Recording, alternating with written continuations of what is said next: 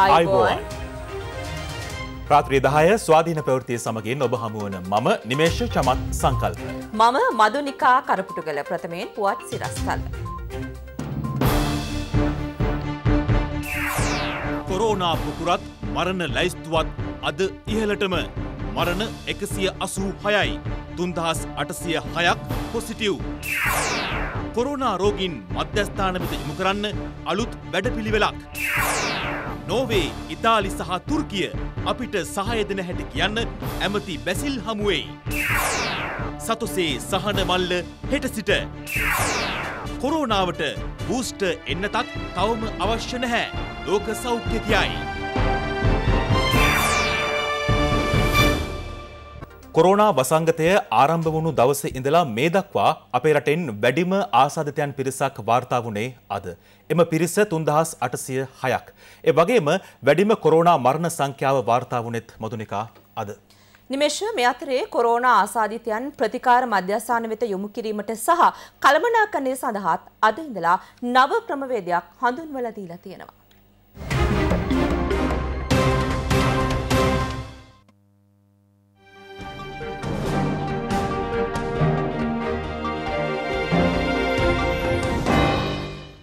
මෙරට කොරුණා රෝගින් තුන් ලක්ෂ හැත්ත ඇතුන් දහස් එකසිය හැට පස් දෙනෙකු වාර්තාවේ තිබෙනවා.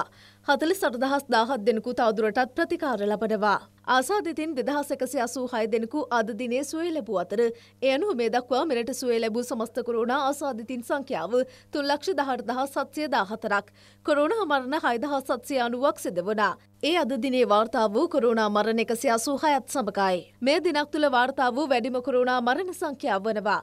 මේ අතුරින් එකසේ එකොළොස් දෙනෙකු පිරිමි පුද්ගලයින්. මරණ එකසි අසූ හයින් හැත්තෑ පස් දෙනෙකු කාන්තාවන්. මේගේ අයතුරින් එකසි හතලි සත් දෙනෙකු අයත් වන්නේ වයස අවුදු හැටිට වැඩි කාණ්ඩයටයි. වයස අවුදු තිහට අඩු කාණ්ඩයට අයත් හතර දෙනෙකු මියගේ පිරිසට අයත් වනවා.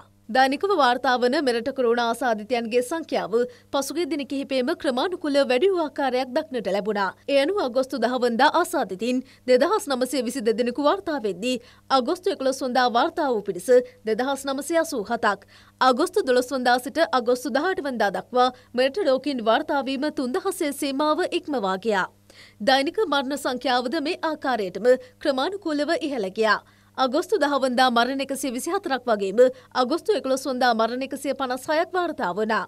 අගොස්තු දොළොස් වන්දා මරණ එකසිය පනස් පහක් වාර්තාවේ තිබෙනවා. අගොස්තු දහතුන් වන්දා සිට අගොස්තු දාහත් වන්දා දක්වා දිනකට වාර්තාවන මරණ සංඛ්‍යාව එකසිය හැටේ සීමාව ඉක්මවා ගොස් තිබෙනවා. කොරුණා රෝගීන් ප්‍රතිකාර මධ්‍යස්ථාන වෙත යොමු කිරීම හා කළමනාකරණය සඳහා අද සිට නව ක්‍රමවේදයක් හඳුන්වා දී තිබෙනවා. එනු ආසාදිතින් පිළිබඳ තොරතුරු කෙටි පණිවිඩයක් මගින් දහනමය බිඳුවයි හතර දුරකථන අංකයට දැනුම් දිය හැකි වනවා. සසන අපහස්ථා ඇති රෝගීන් උණ තත්වයෙන් පෙළෙන රෝගීන් කිසිදු රෝග ලක්ෂණයක් නැති රෝගීන් ආදී වශයෙන් වෙන් කර තොරතුරු ඇතුළත් කළ යුතු වනවා. මෙම කෙටි පණිවිඩ මගින් ලබා දෙන තොරතුරු අනුව සෞඛ්‍යංශ විධිමත්ව රෝගීන් ප්‍රතිකාර මධ්‍යස්ථාන කරා යොමු කිරීම සිදුවන බවයි රජයේ ප්‍රවෘත්ති අධ්‍යක්ෂ ජනරාල්වරයා සඳහන් සඳහන් කරන්නේ. කොරෝනාවට එරෙහි එන්නත් කරන වැඩසටහන අද දිනේද දිවේනේ ප්‍රදේශ කිහිපයකම සිද වුණා. ජනතාව මහත් උනන්දුවකින් යුතුව එනත් ලබා ගැනීමට එම ස්ථානවලට පැමිණ සිටියා. ගම්පහ මාකෙවිට විද්‍යාදීප විද්‍යායතන පිරිවෙනේදීද එක් වැඩසටහනක් ක්‍රියාත්මක කෙරුණා. ගම්පහ ප්‍රාදේශ සභාවේ සභාපති රංජිත් ගුණවර්ධන ප්‍රාදේශීය සභා මන්ත්‍රී මානල් කරුණාවංශ යන මහතුරුන් එන්නත් කරන වැඩසටහනට පැමිණෙන ජනතාවට අවශ්‍ය පහසුකම් සලසා දුන්නා. මුඛ ආවරණ දෙකක් පැල්දීම සම්පාදයෙන් ප්‍රජාවෛද්‍ය විශේෂඥ උත්පල අමරසිංහ මහත්මිය පැහැදිලි කිරීමක් කළා.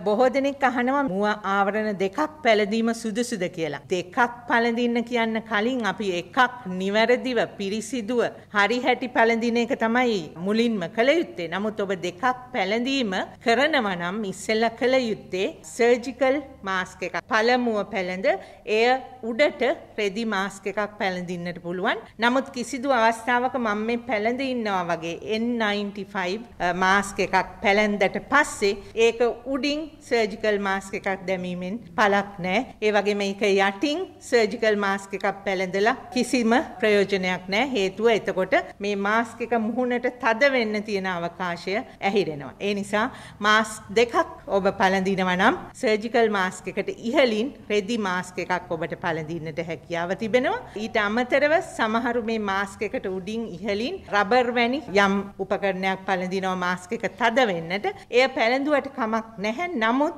එය පිරිසිදුව තබා ගැනීම හා පිරිසිදු උපකරණ පමණක් භාවිත කිරීම මේ අවස්ථාවේ හුඟක් වැදගත් වෙනවා.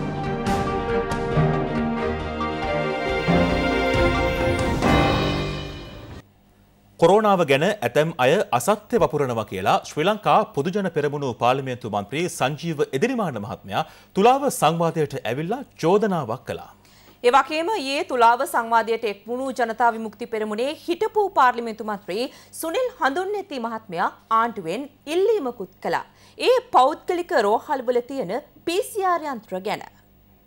චෝදනාවක් තියෙනවා මේ දත්ත වසන් කරනවා කියන එක. ඒ හරහා කොරෝනා වසංගතය තවත් උඩුදුවල කියන චෝදනාව. ඇත්තට මාණ්ඩුව මේ සැබෑ දත්ත වසන් කරලා තියෙන. කැබිනට් තීරණ දැනුම්දීමේ ප්‍රවෘත්ති සාකච්ඡාවේදී දලස් සලහප්පෙරුම ගරු එමතුමා ඉතා පැහැදිලිව කිව්වා කොවිඩ් සම්බන්ධ දත්තවසන් කිරීම පිළිබඳ කිසිදු දේශපාලන කුමනාවක් ආණ්ඩුව පිට නෑ කියලා. අද මන් දැක්කක් කුරුණෑගල නගරයේ මිනිස්සෙක් වැටිලා කොවිඩ් නිසා මෙන්න මහපාරේ මිනිස්සු මැරෙනවා කියලා ප්‍රශ්නයක් ආවේ. ඊට පස්සේ පොලිසිය පැහැදිලි කිරීමක් මන් දැක්කාව ඒක එහෙම නෙවෙයි කියලා. හොරණ පානදුර බස් එකේ අම්මා කෙනෙක් මෙන්න මේම ෂීට් එක අනිත් පැත්තට හැල්ලම් මැරුණා. බස් එකේ හිටපු සියලු දෙනා බැහැලා දිව්වා. රට වටේම ප්‍රවෘත්තියක් ගියා මෙන්න බස් එකේ කොවිඩ් රෝගියෙක් මැරිලා කියලා. පශ්චාත් මරණ පරීක්ෂණය තිබ්බහම හෘද රෝගයකින් එතුමිය මැරෙන්නේ. ඒකෙන් අදහස් වෙන්නේ මේ ලංකාවේ කිසි මිනිහෙක් කොවිඩ් නිසා මැරලා වැටිලා නැහැ කියලා නෙමෙයි මං කියන්නේ. මං කියන්නේ මෙහෙම තොරතුරු පිළිබඳ ගැටලුවක් නිර්මාණය වෙලා තියෙනවා. ඒක සමහරු චේතනාන්විතව කරනවා සමහරු අනවබෝධය නිසා කරනවා. ලංකාවේ එල්ටිටි ත්‍රස්වාදයේ දේශපාලනික වැරදි මත නිර්මාණය වෙච්ච ප්‍රශ්නයක් විදිහට විග්‍රහ කරගන්න. සුනාමි ඛේදවාචක දේශපාලන වරදක් කියලා චන්ද්‍රිකා මැතිණියගෙන් දාන්න පුළුවන්ද බෑ. ලිබියන් සමාජය අද විනාසයි. කෙනෙක්ට තර්ක කරන්න පුළුවන් බාහිර හෝ වැරදි දේශපාලන තීන්දුවකින් ලිබියා විනාශ වෙන්නේ. මේ කාගේවත් දේශපාලන ආරවුලක් නෙවෙයි. ආණ්ඩුවට වගකීමක් තිබුණා. ඒ ආණ්ඩුව වගකීම අපි මේ කරමින් ඉන්නේ. යම් කිසි විදියකින් ඔබතුමාලා මේ මොහොත වෙනට ආණ්ඩු බලයේ ඉන්න පක්ෂය හැටියට හිටියනම් ගන්න ක්‍රියාමාර්ගය මොකක්ද? දැන් සමහරු කියනවා ලොක්ඩවුන් කරොත් රටම මහලා මේක විසඳිය යුතුයි කියලා. මිය යනවා නම් මේ යන්නේ ආණ්ඩු පක්ෂය අය විතරක් නෙමෙයි විපක්ෂය අය විතරක් නෙමෙයි සමස්ත පුරවැසියෝ ආර්ථිකයක් දෙදරලා ආර්ථිකයක් කඩහැලනවා නම් කඩහැලෙන්න සියලුම දෙනාගේ ආර්ථිකය. ඉතින් මේ නිසා අපි සාමූහිකව අපි මේ ප්‍රශ්නය වෙනුවෙන් ආණ්ඩුවත් එක්ක නිරන්තරයෙන්ම කටයුතු කරන්න අපි සූදානමින් සිටියා සහ අදටත් අපි ආණ්ඩුවත් එක්ක සහයෝගයෙන් කටයුතු කරන්න අපි සූදානමින් ඉන්නවා. පෞද්ගලිකංශයේ තියෙනවා PCR මැෂින් යන්ත්‍ර 30ක් විතර PCR පරීක්ෂණ කරන්න පුළුවන් ඒවා ඒවා රජයට ගන්න පුළුවන්. ඒවා රජයේ බාරයට ගන්න පුළුවන්. මං කියන්නේ කිසිම මේරට පුරවැසියෙක් ඒකට විරුද්ධ වෙන්නේ නැහැ. අද ඒගොල්ලෝ මුදල මත පදනම් වෙලා, ලාභයේ මතට පදනම් වෙලා පරීක්ෂණ අඩු කරලා තියෙනවා නම් පෞද්ගලිකාංශ. අන්න තීරණයක් ගන්න පුළුවන් රජයට. ඒවා ගන්න. මේ මේ හැම අදහසක් ගැන මධ්‍යීනයක් තියෙන ස්ථාවර මිලක් දැමීම මත PCR මැෂිම තියාගෙන PCR කරන එක නතර කරු ආයතන තියෙනවා නම් ගන්න ඕන තමයි යත්ම එකඟයි පෞද්ගලික ඔබත් එක්ක. ඒ කියන්නේ එහෙම අපිට මතවාදයක් උමනයි. මදුනිකා සතියකට රට වහන්න කියලා මල්වතු අස්කිරි මහනා හිමිවරුන් ජනාධිපති ගෝඨාභය රාජපක්ෂ මැතිතුමාගෙන් ඉල්ලීමක් කරනවා. ඒ වගේම ආණ්ඩුවේ හවුල්කාර පක්ෂ 10කුත් රට වහන්න කියලා අද ජනාධිපතිතුමාගෙන් තවත් ඉල්ලීමක් කළා. ඒ කොහොමුණත් නිමේෂ රට විකිනීමට කටයුතු කළ යහපාලන ආණ්ඩුව වගේ වර්තමාන ආණ්ඩුව ක්‍රියා කරන එකක් නැහැ කියලා Taman බලාපොරොත්තු වන බව පාර්ලිමේන්තු මන්ත්‍රී මහාචාර්ය තිස්ස විතාන මහත්මයා අද මාධ්‍ය හමුවේ ප්‍රකාශ කළා. කොරුණා වෛරස ව්‍යාප්තිය පාලනය කිරීම සඳහා සතියක කාලයකට රටවසා තබන ලෙස මල්වතු අස්කරි මහනායක ස්වාමින් වහන්සේ ජනාධිපති ගෝඨාභය රාජපක්ෂ මැතිතුමා වෙත ලිපියක් යොමු කරමින් ඉල්ලා තිබෙනවා. එන්නත් කරන වැඩපිළිවෙල පිළිබඳ ප්‍රශංසාව පළ කරන උන්වහන්සේ මෙවන විට වෛරසය දැඩි ලෙස ව්‍යාප්ත වී ඇති බවද සඳහන් කරනවා. ජන ජීවිතය සුරක්ෂිත කිරීම සඳහා සෞඛ්‍ය විශේෂඥයන්ගේ උපදෙස් හා නිර්දේශ අනුව සතියක පමණ කාලයකට හෝ රටවසා තැබීම සුදුසු බවයි මහනායක ස්වාමින් වහන්සේ පෙන්වා දෙන්නේ. මල්ලතු පාර්ශවයේ මහනායක අතිපූජ තිබ්බටුවාවේ ශ්‍රී සුමංගල. අස්කරි පාශවයේ මහනායක අතිපූජ වරකාගොඩ ඥානරත්නයන ස්වාමින් වහන්සේගේ අත්සනින් යුතුව මෙම ලිපියොමු කර තිබෙනවා. අවම වශයෙන් සති තුනකට රට අගුළු දමන ලෙස ආණ්ඩුවේ හවුල්කාර පක්ෂ දහයක් ජනාධිපතිතුමා වෙත යෝජනා කර තිබෙනවා. වසංගත තත්ත්වය පාලනය කිරීම සඳහා ගතයුතු පියවර හතක් මෙහිදී යෝජනා කෙරුණා. අපේ ජනබල පක්ෂය ප්‍රජාතන්ත්‍රවාදී වාමාංශික පෙරමුණ ලංකා සමසමාජ පක්ෂය ජාතික නිදහස් පෙරමුණ පිවිතුරු හෙළවුරුමය ජාතික කොංග්‍රසය එක්සත් මහජන පක්ෂය ශ්‍රී ලංකා කොමිනිස් පක්ෂය ශ්‍රී ලංකා මහජන පක්ෂය සහ යුතුගම ජාතික සංවිධානයද ජනාධිපතිතුමා වෙත ඉදිරිපත් කළ මෙම යෝජනාවට අත්සන් තබා තිබෙනවා. ඊට අත්සන් තැබූ පාලිමේන්තු මන්ත්‍රීවරුන් වන මහාචාරතිස්ස විතාරණ මහතා සහ ගෙවිදු කුමාර්තුන් ගැන මහතුරුන් මේ සම්බන්ධව අදහස් පළ කළා. මේ රට වහන වැඩේ හරියට තදින් ක්‍රියාත්මක කළෝතින් තමයි එක පුද්ගලයෙකුගෙන් තව පුද්ගලයෙකුට ඒක පැතිර යෑම වළක්වන්න පුළුවන් වන්නේ. දැන් මේ ලියුමට ප්‍රතිචාර හරියාකාරව ලැබුණ නැත්නම් පක්ෂ නායක විදිහට මොකද ගන්න ක්‍රියාමාර්ග? මොනවා කිව්වත් අපි දන්නවා අපේ නායකයින් ජනතා හිතකර නායකයෝ. අර කලින් යහපාලනය වාගේ රට විකුණන නායකයින් නෙමෙයි. ඒක නිසා අපි බලාපොරොත්තු වෙනවා සතුටුදායක ප්‍රතිචාරයක් මේ අපේ ඉල්ලීමට ලැබේවි කියලා. අද වෙනකොට රටේ ජනතාව මේ සම්බන්ධයෙන් පියටපත් වෙලා මේ තවදුරටත් මේ රට විවුර්ත කරගෙන තබා ගත්තත් ඒ විවුර්ත කිරීමේ ප්‍රතිඵලය ආර්ථික වශයෙන් රට ලබා ගන්න පුළුවන්ද කියන ප්‍රශ්නයක් තියෙනවා. ඒ නිසා අපි හිතන විදිහට නම් රජයේ මැදිහත් වෙලා ඒ අවශ්‍ය පාලනය සිද්ධ කළා ජනතාවට ආරාධනා කරොත් ආර්ථික වශයෙන්වත් මීට වඩා ප්‍රතිඵලදායී තැනකට රට ගෙන යා හැකි කියන එක තමයි අපේ අදහස. ඒක මේ විපක්ෂයේ විවිධ ඉල්ලීම් කරනවා. අපි දන්නවා මේ විපක්ෂයේ පැවතුනා නම් ජාතික වශයෙන් මුණදිය හැකි තා කුඩා අභියෝගයන් හමුවේ පවා මොනතරම් වගකීම් විරහිත ලෙසද හැසුරුණේ කියලා. හැබැයි මේ එහෙම අපි මේ පක්ෂ විපක්ෂයට බෙදිලා වාද විවාද කළ යුතු කාලයක් හැටියට නෙවෙයි අපි දකින්නේ අපි දකින්නේ මේක ශාල ජාතික අභියෝගයක් හැටියට. මේ අතර උද්ඝෝෂණ රැල්ලක් මෙහෙවා රට තුළ කොරෝනා ව්‍යාප්තියක් සිදු කළ විපක්ෂයම අද රට වසා දැමීම අවශ්‍ය බව පවසන බවයි අමාත්‍ය මහින්දානන්ද අලුත්ගමගේ මහතා පවසන්නේ. කොරෝනා වසංගතය ඇතුළේ රජය අමනෝඥ විදියට තීරණ ගන්න නිසා ජනතාව කබලෙන් ලිපෙට වැටෙමින් පවතිනවා. හිතුවක්කාර වෙන්න එපා. කරන්න තියෙන දේ කවුරුත් දන්නවා. මම කියන්න ඕනේ ඒ දේ කළොත් ඉක්මනට මේ ප්‍රශ්නයෙන් අපේ මිනිස්සුන්ගේ ජීවිත බේරගන්න පුළුවන්. පහුගේ ජූලි මාසේ 17 වෙනිදා මේ ඩෙල්ටා ප්‍රවේදය අපේ රටට ඇවිල්ලායි කියලා අපි දැක්කා. ඊට පහුවදා මොකද සමගි බලවේගය කරේ? පාර්ලිමේන්තුව ඉස්සරහට 10000ක් සෙනගගෙනලා පිරෙව්වා. කිව්ව දවසේ ඉඳලා උද්ඝෝෂණ 847ක් තියලා තිනවා. 1,6000ක් ජනතාව පාරට බස්සලා තිනවා. දැන් බලන්න මේ උද්ඝෝෂණ වලින් පස්සේ රෝගීන් වැඩි වෙලා තියෙන ආකාරය බලන්න. මේ රටේ මේ වසංගත ව්‍යාප්තියට තනිකර සජිත් ප්‍රේමදාසගේ පක්ෂයත් ජනතා විමුක්ති බරමුණත් වග කියන්න ඕනේ. දැන් කියනවා රට වහන්න නැත්නම් උද්ඝෝෂණය කරනවායි කියලා කියනවා. සතියකට ලොක්ඩවුන් කරලා මේක විසඳන්න පුළුවන් නම් අපිත් කැමති. අපි මේක ලොක්ඩවුන් කරනවා නම් අඩු ගානේ මාසයකටවත් මේක ලොක්ඩවුන් කරන්න ඕනේ. රට වහන්න ආණ්ඩුව කැමති. හැබැයි මතක තියාගන්න මේ රටේ මිලියන 22ක් මිනිස්සු ජීවත් කරන්න ඕනේ. ඒ නිසා මේ රටේ මිනිස්සු ජීවත් කරවන්නත් ඕනේ මේ වසංගතය පාලනය කරන්නත් ඕනේ.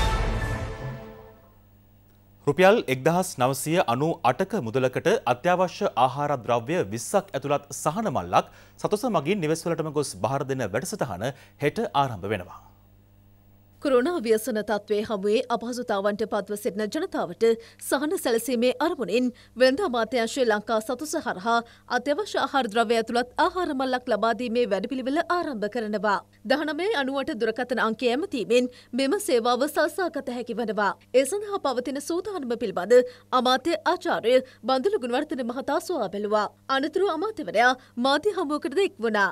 රජයේ විසින් අවශ්‍ය පරිභෝජන භාණ්ඩ මල්ලක් වෙළඳ පොලේ පවතින මිලට වඩා අඩු සහන මිල ගණන් යටතේ නිවසටම ගෙන ගොස් දීමේ වැඩපිළිවෙලක් අපි සතුස මගින් ආරම්භ කරනවා. එහිදී අපේ බලාපොරොත්තුව ජන ජීවිතවලට අවශ්‍ය භාණ්ඩ වර්ග 20ක් රුපියල් 1998ක මිලට 1998 කියන දුරකථන අංකයට කතා කළාම තමන් කොයි ප්‍රදේශයක සිටියත් සතුස හරහා මේ සහන මල්ල ප්‍රවාහන ගාස්තු කිසිවක් අය නොකොට සති දෙකක් යනතෙක් නිවසටම ලබාදීමේ ජාතික වැඩසටහනක් තමයි අද අපි ක්‍රියාත්මක කරන්න බලාපොරොත්තු වෙන්නේ. එතකොට මේ භාණ්ඩ මල්ල තුල රතු කැකුළු කිලෝ දෙකක්, සුදු කැකුළු කිලෝවක්, නාඩු සහල් කිලෝවක්, පිටි කිලෝවක්, පරිප්පු කිලෝවක්, සුදු සීනි කිලෝවක්, රතු සීනි කිලෝවක්, නූඩල්ස් පැකට් එකක්, තේකොළ පැකට්ටුවක්, මිරිස්, ගම්බිරිස්, තුන පහ, හාල් මැස්සන් යනාදී වශයෙන් අත්‍යවශ්‍ය භාණ්ඩ වර්ග 20ක් තිබෙනවා. මේ භාණ්ඩ වර්ග 20 අපිට සතොස වශයෙන් අද වෙළඳ පොලේ පවතින මිලට වඩා රුපියල් 600කට වඩා අඩුවෙන් තමයි මේ භාණ්ඩ මල්ල සකස් කරලා තියෙන්නේ. හෙට දිනේ සිට පැය 24ක් ඇතුළත 1998ට දුරකථනයෙන් කතා කළ විට ඔබට අවශ්‍ය සහන මල්ල නිවසට ගෙනා ගන්න පුළුවන්කම ලැබෙනවා.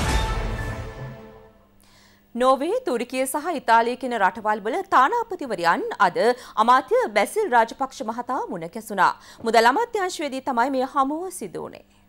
නොවේජයානු තානාපතිනි හිල්ඩේබර්ග් හැන්සන් තුර්කි තානාපතිනි ආර්ඩිමේට් සෙකසියෝක්ලු සහ ඉතාලි තානාපතිනි රිටා ගියුලියානා මැනෙල්ලා යන මහත්මීන් මෙලෙස අමාත්‍ය බැසිල් රාජපක්ෂ මහතා මුණ ගැසුණා. මෙරට ක්‍රියාත්මක පුනර්ජනනීය බලශක්ති වැඩසටහන වෙනුවෙන් පූර්ණ සහයෝගය ලබා දෙන බව නෝවේජියානු තානාපතිනිය මෙදී ප්‍රකාශ කළා. ඒ වෙනුවෙන් මෙරට විශ්වවිද්‍යාල සමග ඒකාබද්ධව පර්යේෂණ කටයුතුද ආරම්භ කර තිබෙනවා. මෙහිදී අදහස් දැක් වූ තුර්කි තානාපතිනිය ප්‍රකාශ කළේ කොවිඩ් වසංගතය පාලනය වූ වහාම එරට ව්‍යාපාරික කවුන්සිල නියෝජිතයන් ශ්‍රී ලංකාව වෙත යොමු කිරීමට කටයුතු කරන බවයි. ශ්‍රී ලංකාවේ තේවලට එරට තුළ පවතින ඉහළ ඉල්ලුම ඉදිරියේදී තවදුරටත් ප්‍රවර්ධනය කිරීමට පහසුකම් සලසන බවද ඒ මහත්මිය වැඩිදුරටත් ප්‍රකාශ කළා.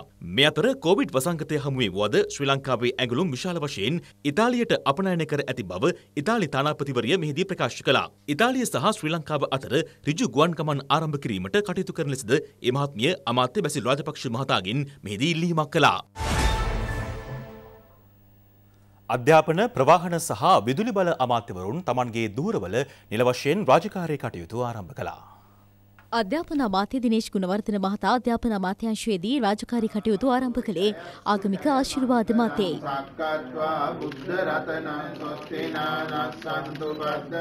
මහාචාර්ය ජී.එල්. පීරිස් ආචාර්ය බන්තුල ගුණවර්ධන යන මහතුරුන් මෙන්ම රාජ්‍ය අමාත්‍යවරුන් වන සුසිල් ප්‍රේමජයන්ත පියල් නිශාන්ත හා විජිත බේරුගොඩ යන මහතුරුන්ද එම අවස්ථාවට එක්ව සිටියා. කේන්ද්‍රීය ජාතික කර්තව්‍යයක් හැටියට හැම රජයක්ම අධ්‍යාපනය සලකා තිබෙනවා. ඒ නිසා තමයි අපි දැනුමෙන් සාක්ෂරතාවයෙන් ඉදිරියෙන් ඉන්න රටක් ලෙස ලොව තිබෙන ලේඛනයේ අදත් උරුමකම් කියනවා. ආසියාවේ ඒ උරුමය අපිට කියන්න පුළුවන් වී තිබෙනවා. ලෝකය වෙනස් වී තිබෙනවා. ඒ නිසා ශ්‍රී ලංකාවේ අධ්‍යාපන ක්‍රමයද එලෙසය ප්‍රයෝජනයට ගැනීමට හැකි නිර්මාණශීලී ක්‍රියාදහම ඉස්සරහට ගෙනියන්න අතිකර ජනාධිපතිතුමාගේ වැඩපිළිවෙල අධ්‍යාපන අමාත්‍යංශය හරහා අපි ක්‍රියාත්මක කරමු. විදුලි බල අමාත්‍යවරයා ලෙස ගාමිණී ලොකුගේ මහතා රාජකාරී ආරම්භ කළේ විදුලි බල අමාත්‍යංශයේදී. ආගමික වතාවත්වලට මුල් තැන දෙමින් එම කටයුතු සිදු වූ අතර රාජ්‍ය අමාත්‍යවරුන් වන දුමින්ද දිසානායක හා දිලුම් අමුණුගම යන මහතුරුන්ද මෙම අවස්ථාවට එක්ව සිටියා. සතුටු වෙනවා මේ අමාත්‍යංශය ඇමතිවර හැට වැඩ බාර ගන්න ලැබීම ගැන. නම් මම අමාත්‍යංශ ගණනාවක සේවය කළා තිනවා. මේ හැම සේවය කරපු අමාත්‍යංශක නිලධාරීන් අදත් මගේ මිත්‍රයින් හැටියට මට කටයුතු කරන්න පුළුවන්කම. ජනාධිපතිතුමාගේ ප්‍රතිපත්තියේ තියෙන සෞභාග්‍ය දැක්ම ක්‍රියාත්මක කරන්න තමුන්නාන්සලා සීල දෙනාම එකට සහයෝගය දෙන්න. අපිට තව අවුරුද්දක් හමාරක් යනකොට මේ කොවිඩ් රෝගය අවසන් කළා. මේ රටේ ආර්ථිකයත් අලුත් ගමනක් ගන්න අපිට පුළුවන් වෙයි. අපි ලබන සැපයීමකට මේ අමාත්‍යංශයේ සීල නිලධාරීන් එක්ක මුණ ගැහිලා ඉදිරි වැඩපිළිවෙල සාකච්ඡා කළ ඒ ගත යුතු ක්‍රියාමාර්ග මොනවද කියලා අපි කතා කතා මේ අතර අමාත්‍ය පවිත්‍රා වන්‍යාරච්චි මහත්මිය ප්‍රවාහන අමාත්‍යංශයේදී සිය දූරේ රාජකාරී ආරම්භ කළා. අදාළ පත්වීම් ලිපියට අත්සන් තැබීමෙන් පසු එය ප්‍රවාහන අමාත්‍යංශයේ ලේකම් මොන්ටි රණතුංග මහතාට බාරදීමටයි කටයුතු කෙරුණේ. සමෘද්ධි ලාබීන්ගේ වගේම අඩු ආදායම් ලාබීන්ගේ සහනාධාර මානසිකත්වය වෙනස් කරලා ඔවුන් ස්වශක්තියෙන් නැගී සිටින පිරිසක් බවට පත් කරන්න ඕනි කියලා රාජ්‍ය ඇමති ශ්‍රේහන් සේම්සිංහ මහත්මයා කියනවා. මාධ්‍ය හමුවකට එක්වමින් තමයි රාජ්‍ය අමාත්‍යවරයා මේ බව කිව්වේ.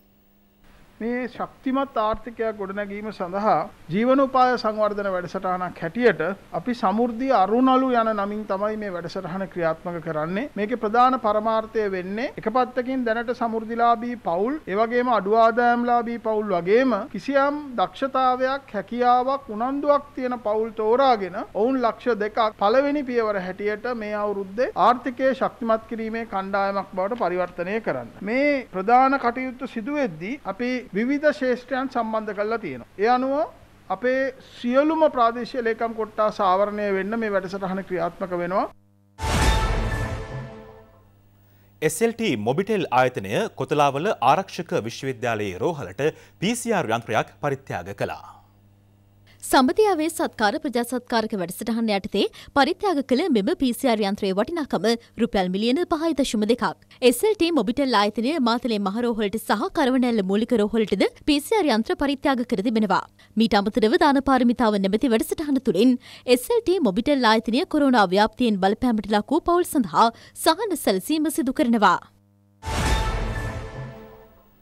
මහනුවර ඓතිහාසික ඇසල පෙරහැර මංකාලයේ දෙවන රන්තෝලි පෙරහැර අද වීදී සංචාරය කළා.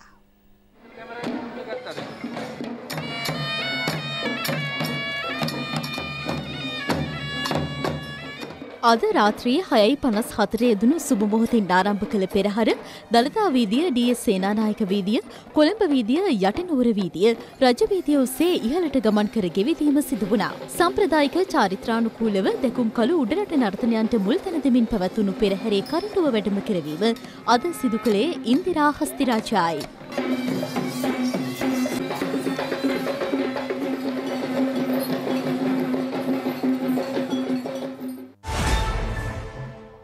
සමගින් ප්‍රාප්‍රිය දහය ස්වාධීන ප්‍රවෘත්ති මින් නිමාවට පත්වනවා. මීළඟට විපරම විශේෂාංගය. සුභරාත්‍රයක් අයිබෝවන්.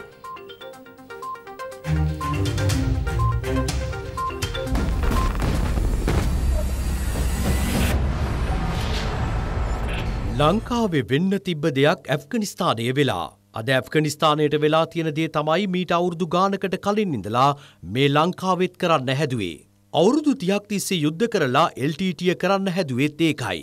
රටින් භාගයක් අල්ලගෙන ඉතුරු භාගෙත් අල්ලගෙන රටම පාලනය කරන්න එල්ටීටිය වලිකෑවේ වේලුපිල්ලේ ප්‍රභාකරන් කියන තිරිසන් ත්‍රස්තවාදයාගේ ඕමනාවටම නෙවෙයි. ප්‍රභාකරන් කියන්නේ ඒ බලවේගේ පපට් කෙනෙක් විතරයි. ප්‍රභාකරන්ගේ අතින් පත් වුණු හැම තුවක්කුවකම හැම බෝම්බයකම තිබ්බේ උතුර අල්ලගන්න ඇජෙන්ඩ එක විතරක් නෙමෙයි.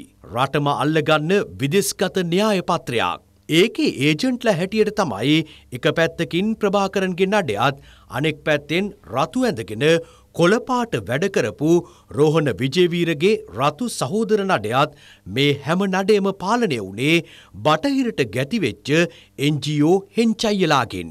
ප්‍රභාකරන් උතුර අරාජික කරද්දී දකුණ අරාජික කරන වගකීම බාර අරගෙන තිබ්බේ වෙනින් කවුරුවත් නෙවෙයි. ජනතා විමුක්ති පෙරමුණේ ඩොලර්වාදී රතු සහෝදරවරු. වහන්න හැදුවට ඇත්ත ඒකයි. අරාබි වසන්තය ඇවිල්ලා රටවල් එකින් එක අරාජික කරලා හිටපු නායකයන්ට ඒකාධිපති ලේබල් අලවලා රටේ ජනතාවත් කුලප්පු කරවලා ඒ රටවල් වලට කරපු හරිය අද හොඳටෝම පේනවා නේද. ඒකාධිපතියෙක් කියලා හංවඩු ගහපු ඒ වුණාට රටම ගොඩනගපු ඉරාකේ නායකයා වෙච්ච සදාම් හුසේන්ව සතෙක් දඩයම් කරනවා වගේ කුදලගෙන ගිහිල්ලා එල්ලලා මරපු පළවිපාකය අද විඳින්නේ වෙනින් කවුරුවත් නෙමෙයි ඉරාකේම මිනිස්සුම නේද. ලෝකෙ භයානකම ඒකාධිපතිය කියලා හංවඩු ගහපු ලිබියාව දියුණුම රටක් විදිහටත් ගොඩනගපු හැම මිනිහටම ජීවත්වෙන්න පුළුවන් ආර්ථිකයක් හදපු ඒ හැමදේම කරන්න ඒකාධිපතියෙක් විදිහට වැඩ කරපු හැබැයි ලිබියාවටයි ලිබියාවේ මිනිස්සුන්ටයි ආදරය කරපු මුහම්මර් අල් ගඩාපි තිරිස්සෙනෙකුටත් අන්ද විදියටත් මරල දාලා අද ලිබියාවට මොනවද ලැබිලා තියෙන්නේ. අච්චර දියුණු වෙච්ච අවුරුදු ගණනාවකට තෙල්නිදිය පවා තියෙන ලිබියාවේ මිනිස්සු අද කාන්තාරේ පස්කන තත්ත්වයට වැටිලා. බල්ලු බලල්ලු ගානට ලිබියාවේ මිනිස්සු මැරිලා යනවා. අරාබි වසන්තයේ ප්‍රතිඵල තමයි ඒ. තෙල් නැති බලවතුන් තෙල් තියෙන රටවල් විනාශ කරලා තෙල් ටික අයිති කරගන්න කරපු මහා විනාශයන් තමයි ඒ. ඒකට උල්පන්දම් දුන්න ඒ රටවල් වල අපේ වගේ රතු සහෝදරයොත් ඉන්න ඇති. ඒ උන්දලාටත් අද වෙච්ච දෙයක් නැහැ. ඒක තමයි ඇත්ත යථාර්ථය. බුදුපිළිම කඩලා පටන්ගත්ත තලයිබාන් ත්‍රස්තයන්ගේ අන්තවාදී නින්දිත ම්ලේච්චත්වය අද ඇෆ්ගනිස්ථානයේ පාලනය අතට අරගෙන. ජනතාව පත්කරගත්ත ජනාධිපතිට රටින් පැනල යන්න වෙලා. හෙට වෙනකොට ඉරාකෙට විච්චදේ ලිබියාවට වෙච්චදේ ඇෆ්ගනිස්ථානයට වෙන්නේ නැතිවෙයි කියලා කාටද කියන්න පුළුවන්. ඒක ඒ විදිහටම සිද්ධ වෙයි. ඔන්න ඔය දේම තමයි මේ මහපොළොවෙත් සිද්ධ වෙන්න ගියේ. සිද්ධ කරන්න ගියේ. මහින්ද රාජපක්ෂ මේ රටේ ජනාධිපති වෙලා කොටියා පරද්දන්න ඔන්න මෙන්න තියෙද්දිත් සෝල්හයිම්ලා පුදුම ට්‍රයි එකක් දුන්නේ ප්‍රභාකරන්ව බේරගෙන යුද්ධගේම දෙවැනි වටින් පටන් ගන්න. හැබැයි බටහිරටයි කුමන්ත්‍රණකාරයන්ටයි අඳුනගන්න බැරිවුණු කෙනෙක් හිටියා. ඒ තමයි මහින්ද රාජපක්ෂ ජනාධිපතිවරයාට එහා ගිය මැදමුලනේ මහින්දව. අන්න ඒ මැදමුලනේ මහින්ද දකුණේ ක්‍රමයටම කුමන්ත්‍රණය පැරැද්දුවා විතරක් නෙවෙයි. බටහිර බලවේගත් දනගස්සලා වේලුපිල්ලේ ප්‍රභාකරන් කියන ම්ලේච්ච ඝාතකයාවත් සදහටම නැති කරලා දැම්මා. එහෙම කරත් අරාබි වසන්තයේ කුමන්ත්‍රණය කෙලවර වුණේ නැහැ. ඒකෙ එක න්‍යායපත්‍රයක් තමයි දෙදස් පහළවේදීත් වැඩ කරේ. හැබැයි ඉරාකයේ ලිබියාවේ ඇෆ්ගනිස්ථානයේ මිනිස්සුන්ට වැඩිය අපේ රටේ මිනිස්සු හරිම බුද්ධිමාත්. පහළොව වෙච්ච වැරද්ද දහටේ වෙද්දී මිනිස්සුන්ට තේරුණා. අන්න ඒ නිසා තමයි කුමන්ත්‍රණය දිග්ගැහෙන්න කලින් දෙදස් දහටේ පුංචි චන්දෙදී මෙරටේ මිනිස්සු ලොකු වැඩක් කරලා කුමන්ත්‍රණ කාරයන්ට සිගනල් එක දැම්බේ. ඒකේ ප්‍රතිඵලය දෙදස් දහනමය ජනාධිපතිවරණයේදී අපේ රටේ බුද්ධිමත් මිනිස්සු හොඳ ටෝම ඔප්පු කරලා පෙන්නවා. විස්සි මහමැතිවරණයේදී ඒක ඊටත් වැඩිය හොඳින් ඔප්පු කලා. හැබැයි මේ මොනදේ කළත් තරාබි වසන්තයේ සුවඳට ඉවල්ලන එන්ජියෝ කුමන්ත්‍රණකාරයෝ වැඩේ අතෑරල නම් නැහැ. ලෝකෙටම වසංගතයක් වෙච්ච අපිටත් එපාම කරපු වසංගතයක් වෙච්ච කොරෝනාව රටේ හොල්මන් කරන වෙලාවේ මේ කුමන්ත්‍රණකාරයෝ උදේ හවස ට්‍රයි කරන්නේ වෙනින් මොකකටවත් නෙවෙයි. රටට හිත ඇති ජනතාවට ලෙංගතු මේ ආණ්ඩුව පෙරලල දාලා ඉරාකයේ ලිබියාවේ ඇෆ්ගනිස්ථානය කලා වගේ අන්තවාදී බටහිර ගැති පාලකයන් රොත්තකට මේ රට බාර දෙන්න. මිනිසුන් නොමරා රටත් වහගන්නේ නැතුව කොරෝනාවත් පාලනය කරන්න ජනාධිපතිතුමයි ආණ්ඩුවයි මේ වෙනකොට පුදුමගේමක් දෙනවා. ඒ අව්වස්සේ රතු ඇඳගත්ත කොළ සහෝදරයෝ රටම අරාජික කරන්න උද්ඝෝෂණ පෙළපාලේ සත්‍යග්‍රහ උපවාස දවසින් දවස තියන්න ප්ලෑන් කරනවා. මිනිස්සුන්ගේ ජනජීවිතය බින්දුවටම බස්සලා මිනිස්සුන්ව නොමරා මරණතත්වට ගේන්න පුදුමගේමක් දෙනවා. එන්නත් ටික කොහොමාරි විදලා මිනිස්සු ටික කොහොමාරි බේරගන්න ආණ්ඩුව ගේමක් දෙන වෙලාවේ වැක්සින් ගහන එකත් කඩා කප්පල් කරලා මිනිස්සු ටික පාරට බස්සගෙන කොරෝනාවේ හතරවෙනි රැල්ලත් නිර්මාණය කරලා රට අරාජික කරන කොන්ත්‍රාත් එක විපක්ෂයේ උන්දලයි රතු සහෝදරවරු ටිකයි එන්ජියෝ කාක්කො ටිකයි හොඳටම බාරාරගෙන තියෙනවා. ආණ්ඩුව වැැහුවෙනත් නම් අපි වහනවා කියන්නේ මිනිස්සුන්ට තියෙන ආදරයටද. ඒම ආදරයක් තිබ්බනම් පසුගිය දවස්වල මිනිස්සු ටික පාරවල්දිකේ දක්කගෙන යයිද. එහෙම කරපු උන්දලා අද වහපන් වහපන් කියලා මරහඬ දෙන්නේ එදාවේල හම්බ කරගෙන කන මිනිියගෙත් බඩට ගහලා ඒකත් ආණ්ඩුවේ එකවුන්් එකට දාන්න නෙමෙයිද. ඒම කරලා චන්දකින් වටන්න බැහැ කියලා හොඳටම පේන ආණ්ඩුව කුමන්ත්‍රණවලින් වට්ටන්න නෙමෙයිද. ගොඩක් අය කියන්න අකමැති වුණත් කතා කරන්න බය වුණත් මේක නෙමෙයිද ඇත්ත. වසංගතය හොඳ කරගන්න අපි හැමෝම අපේ ආරක්ෂාව බලාගමු. හැබැයි අපි අපේ ආරක්ෂාව බලාගන්නවා වගේම ගෙදර දුරවාගෙන හිටියත් ජනේලිකින් හරි හොඳට ඇස්සැරගෙන බලන්න. මොකද කුමන්ත්‍රණය ගේ අස්සට රිංගන්න පුළුවන්. අන්න ඒකට ඉඩ දුන්නොත් මේ ශ්‍රී ලංකාවටත් සිද්ධ වෙන්නේ ඉරාකයට ලිබියාවට අද ඇෆ්ගනිස්ථානයටත් සිද්ධ වෙච්ච දේමයි. ඒ නිසා හොඳට ඇස්සැරගෙනම ඉන්න. මාස්කිකෙන් නහයයි කටයි වහගෙන හිටියට කමක් නැහැ. ඇස් දෙක නම් මොන විදිහකටවත් වහගන්න එපා. මොකද රට විනාස කරන බලවේග කොරෝනාවටත් වඩා භයානක නිසා. විපරම පිටපත සුධර්මන් රදලිය ගොඩගෙන්. Thank you.